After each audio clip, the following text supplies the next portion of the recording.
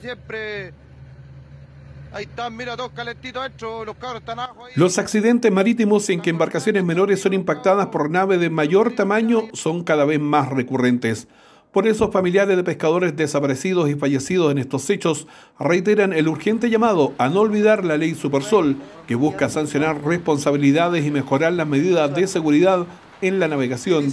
En enero nos tocó a nosotros como familia, eh, hace unos meses antes le había tocado también una familia de la puntilla, eh, los de Corral también son personas que están realmente muy afectadas, familias que se han quedado realmente sin ningún tipo de ingreso eh, entonces hago un llamado a que no bajemos los brazos, a que sigamos en esta lucha, porque esta lucha es para todos, no es solamente para nosotros, es una lucha para todos, porque no puede ser que, los pescadores salgan a la mar con miedo a que lo estén matando, eso, eso tiene que parar ya. Hasta hoy se sigue haciendo esfuerzos por lograr encontrar a uno de los pescadores que se mantiene desaparecido tras el accidente en el Golfo de Ancud cuando una embarcación fue impactada por una barcaza tenemos un compromiso reconfirmando la palabra desde el, desde el primer día con el señor David Parcel Díaz, que es el prestador de servicio y que está comprometido con esta causa, a reflotar la embarcación con el objeto de ver la posibilidad de si encontramos a nuestro primo en el interior de la embarcación.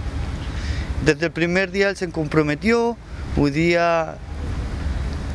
sigue sosteniendo su compromiso y esperamos que se logre el objetivo. Solicitamos a la Fiscalía eh, una reconstitución de escena eh, con el fin con el fin de que eh, la Armada, especialmente el fiscal, al momento, si se llegara a realizar esa reconstitución de escena, vea con sus propios ojos en el momento ahí exacto cómo ocurrieron los hechos, el por qué no los vieron, o, lo que es peor, que eh, digamos, eh, ¿por simplemente no pudieron evitar eso? Entonces eso va a estar ahí justamente a la vista, por eso nosotros también hacemos un llamado a la Fiscalía, también a la Armada de Chile, que nos presten esa ayuda y que ellos realmente, digamos, hagan la pega. El anteproyecto de la ley Supersol fue entregado a parlamentarios de la zona, por lo que a juicio de los dirigentes de la pesca artesanal ya ha transcurrido un plazo prudente y se hace necesario dar impulso a la iniciativa.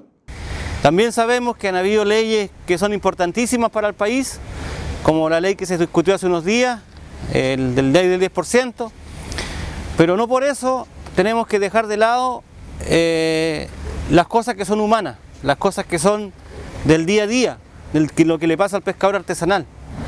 Y en esto nosotros queremos ser súper enfáticos.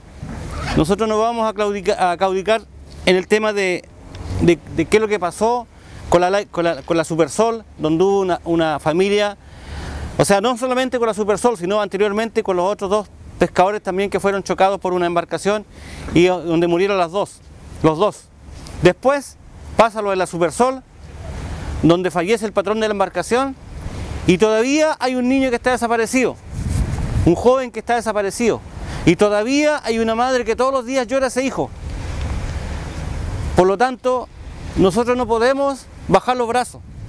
Y esto también es un llamado a, los dirigentes, a los dirigentes que en su momento apoyaron todos cuando recién pasó esto, pero hoy día se ha ido decantando y ha bajado el entusiasmo. Yo creo que esto lo tiene que ser así. Esto tiene que ser siempre. Nosotros vamos tras una ley. Queremos ir tras una ley para que nunca más los pescadores en Chile tengan que sufrir las consecuencias que han sufrido estas familias del sur. Lo que se pretende, añaden, es impedir que el anteproyecto quede en el olvido y asegurar que pescadores artesanales y sus familias contarán con una herramienta que les proteja en su diaria y esforzada labor en el mar.